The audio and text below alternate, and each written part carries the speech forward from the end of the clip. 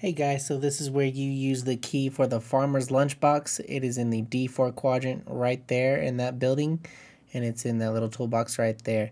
Anyways, if you enjoyed the video guys, please like and subscribe so that you can stay tuned for the newest key locations in Ashika Island DMZ. Thanks and good luck.